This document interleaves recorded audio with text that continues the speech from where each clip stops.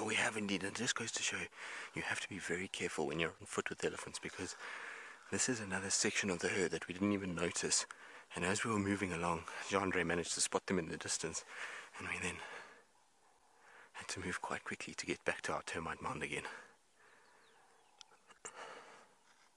Now you can see they're quite aware of what's going on because they caught our scent. They crossed exactly where we were.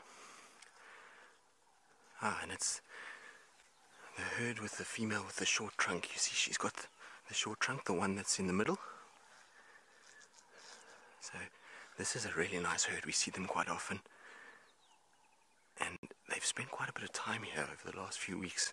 We've seen the kind of her moving around a lot in this northern section. So, great to see her again. But I'm just staying quite quiet because they're far more aware of the other than what the others were because they came across where we were walking. So they picked up our scent and also saw us trying to get back to this termite mound. So just trying to stay nice and quiet so that we don't give them too much of a reason to come this way. Look at the little baby chasing starlings.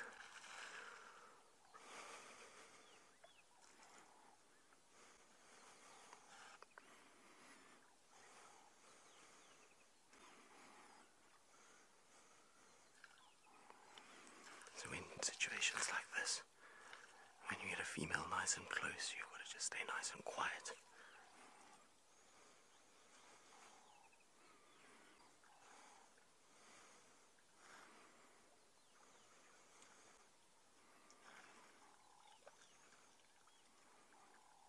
Okay.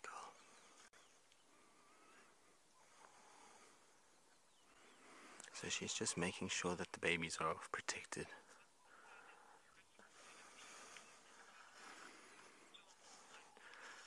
John Michael, you're wondering what's the furthest a herd of African elephants has travelled? Well, I'm not sure that there is a, a definite number that's been recorded, but the elephants here in the Kruger Park area, way back before we established national parks, were believed to travel from here all the way up to Tanzania, which is over 2,000 miles. So that's a very, very long way to move, and that's probably sort of the longest that I've heard of. But you'll find in Botswana they still do move quite a bit. They still kind of go in sort of long treks from the Chobe River down into the Savuti Marsh.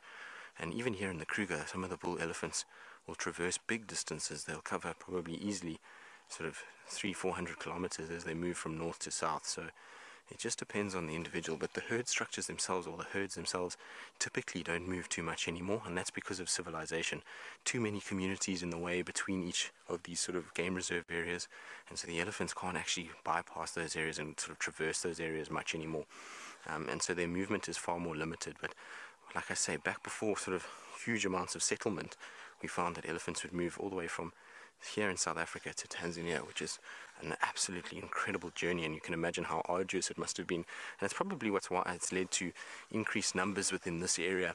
It's because these elephants are no longer moving over such large distances. The young and the old are not being put through as much sort of pressure, and therefore there's a much better survival rate, and the numbers then grow a lot quicker. But isn't it amazing how an elephant who's lost the tip of her trunk is still able to suck up water, still able to survive, you can see she's perfectly healthy. She's raised a family. Those are in all likelihood all of her youngsters that she's had over her lifespan. So this is an absolutely incredible thing to see that even in, in sort of nature, something with a deformity like that is still able to survive and to sustain itself. What a special experience.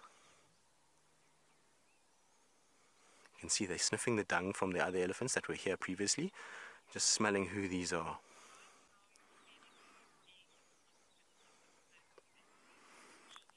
Ooh, Roshni, this is an interesting one. You want to know how I feel being on foot so close to them. Well, it's difficult to describe in sort of one word. It's this sheer amazement, really, to be able to sit this close to a wild herd of elephants and to be able to see them at such close proximity and not really interfere in their lives too much is the most amazing feeling. It's just is very little like it. Your heart beats at a million miles an hour. You kind of get a little bit sort of nervous at times as they get a little bit closer, but it is just probably sheer amazement more than anything else.